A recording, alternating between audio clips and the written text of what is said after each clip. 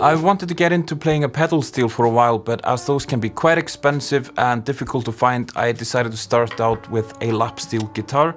I bought this one about a couple of weeks ago and this is the Gretsch G5700 Electromatic and right away I knew I wanted to install the Certano palm benders on it to get as close as possible to the sound of a pedal steel. It is quite affordable although it's not the cheapest option I could find. It cost me around $500. It's a Gretsch made in China, one piece of mahogany with one single coil bridge pickup a volume knob, a tone knob and uh, aluminium nut. It came with that chrome plate here that uh, I needed to remove when I installed the benders and as you can see I actually replaced the bridge as well but more on that later.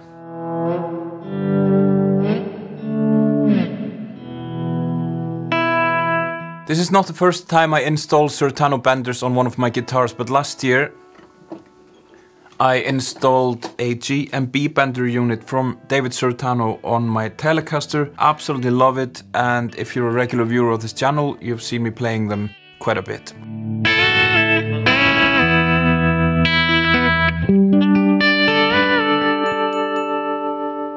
The Certano benders are made by David Certano in France and when I got in touch with David the other day to order the lap steel benders, he actually suggested that I'd get the roller bridge as well as many of his customers had actually ordered that combo for this particular model, the Gretsch uh, G5700, as the roller bridge should really help out with tuning stability, etc.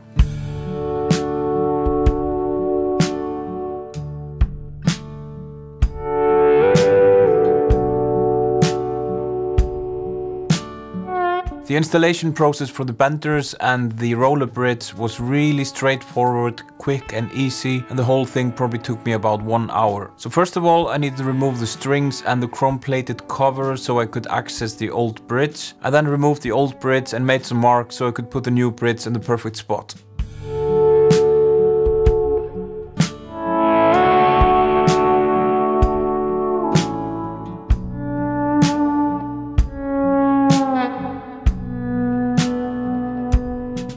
And as you can see the guitar comes strung through but as the new bridge is top loaded and it actually covers the string holes I needed to push out the uh, little buttons that were standing out.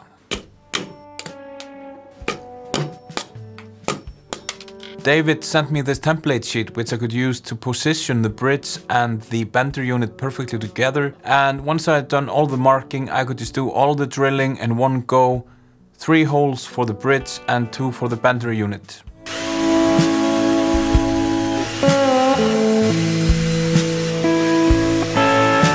So now all I had left to do was to screw the bridge on, screw the bottom of the bender unit on and then assemble the bender unit properly, uh, put in new strings and then adjust the levers.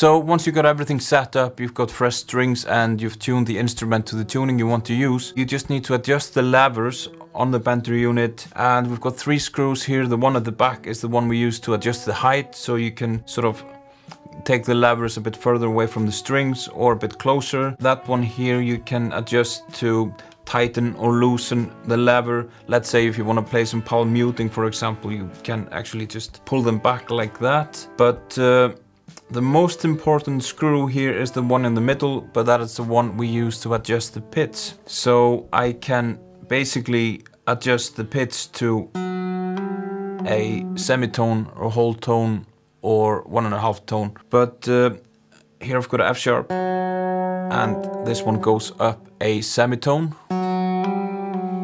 while this string here goes up a whole tone. And the tuning I'm using is open D D, A, D, F sharp, A, D.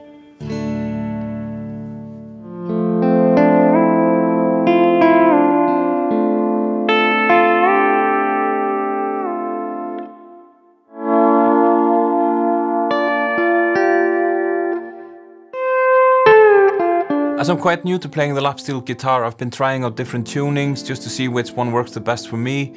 And it seems like there are these two main tunings that people are using. It's either the C6 tuning, which has sort of that western swing, country, even Hawaiian sound, while others play in open D, where you get that sort of bluesy, swampy sound.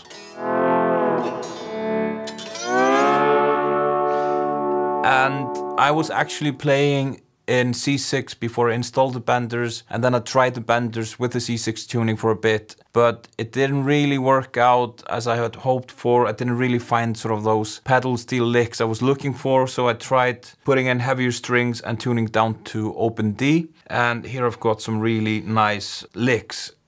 Let's say if I play this just G chord here bend that one up a semitone. And then it's a G sus4 chord. And if I bend the other one up a whole tone, it's a G sus2.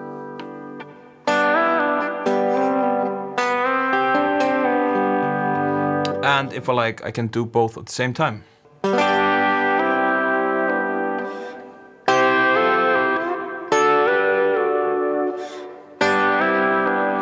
Really cool sound, sort of mechanical bend, very accurate.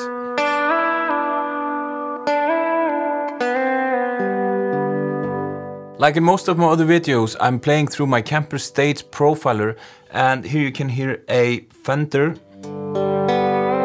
Blues Deluxe profile, a clean profile by Michael Britt with some uh, Tube Screamer on top a bit of delay and loads of reverb. And since I've only had the lap steel for about a couple of weeks, I'm still sort of playing around with different amp profiles. But I'm quite happy with the Blues Deluxe and I will definitely keep playing through that one for a while.